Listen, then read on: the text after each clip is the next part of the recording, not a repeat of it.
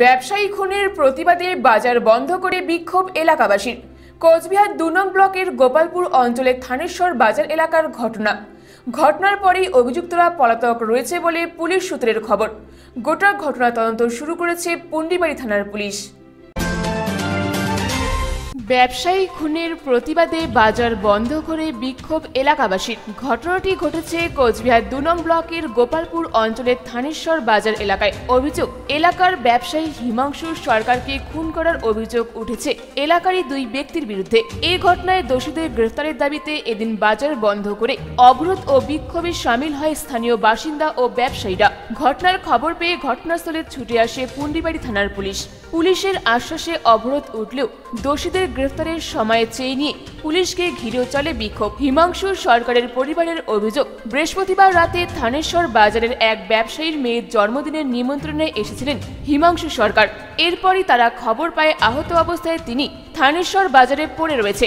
ঘটনাস্থলে পৌঁছে তারা সেখান থেকে তাকে রক্তাক্ত অবস্থায় উদ্ধার করে কোচবিহারের একটি বেসরকারি নার্সিংহোমে ভর্তি করে। চিকিৎসকেরা সেখানে তাকে মৃত বলে ঘোষণা করে বলে অভিযোগ। অভিযোগ এলাকারই কমল অধিকারী ও আরেকজন সুশান্ত ঈশ্বর।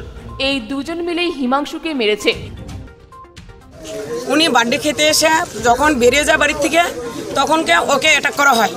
অ্যাটাক করার পরে কিছু লোক মানে এই যে কমল অধিকারী বলছে। ওই কমল অধিকারী? কমল অধিকারী? ওকে মারছে। টেট্টিরি নাম বলে এক ইয়ে ডাক নাম। আসল নামটা আমি জানি না। কিন্তু ও মারতেছে। আসল ঘটনাটা বাড়ির লোক সবাই জানে কিন্তু বলছে না। ওরা কেন বলছে না? হ্যাঁ ওর বাড়ির সামনে। ওর ওর অনুষ্ঠানে ওরা ইনভাইট করছে ওরা খেতে আসলো। হ্যাঁ কেন আমার বাড়িতে আসে একজন আহত হবে? আমি জানব না। হ্যাঁ ওরা নাম বলছে না। তারপরে কালকে চাপের পরে পার্টির চাপে চুপে ওরা বলে দিয়েছে রেকর্ডিং করা আছে।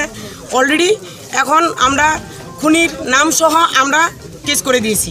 হ্যাঁ অলরেডি পুলিশরাও এসেছে ওরাও কথা বলছে ওরা সব রিপোর্ট নিচ্ছে। আমরা এখন এখন কি চাইছেনটা কি? আমরা চাচ্ছি হিমাংশু সরকারের খুনির শাস্তি চাই ফাঁসি চাই। এরই প্রতিবাদে শুক্রবার সকাল থেকে তারা এই দুই অভিযুক্তের বাড়ির সামনে বিক্ষোভ দেখানোর পাশাপাশি থানেশ্বর বাজারে অবরোধ করে। দোষীদের দ্রুত গ্রেফতার করে কঠোর শাস্তির দাবি জানিয়েছেন তারা। এই বাড়িতে বার্থডে ছিল। আমার কাকা কৃষিকাজ করে। এখানে আমার দাদার দোকান মানে আমার কাকার ছেলে। এখানে দোকান আছে একটা। তো কাকাকে মানে আমার দাদা বার্থডেতে দিয়ে এখানে অনুষ্ঠান ছিল এখানে দিয়ে গেছে। ইনভাইট করেছিল এখানে আমার কাকাকে দিয়ে আমার দাদা বাড়িতে গেছে। তার কিছু ঘণ্টা পরে বাড়িতে ফোন আসে যে তোর বাবাকে বাইরে ফালায় না মানে ওইরকম মানে এখন ডেটের খবরটা যায়নি মানে মারছে এটা শোনা গেছে। তো আমি দাদা আসলাম। আইসা দেখি এইখানে চোখেতে শোয়ানো। সে কান দিয়ে ব্লাড বেরোচ্ছিল তো খালি মানে ব্রেনের টোটালি কাজ করা বন্ধ করে দিয়েছিল। শুধু ফুসফুসটা চলছিল। কারা মারলো? শুধু এটা এখনও মানে আমরা বলতে পারতেছি না।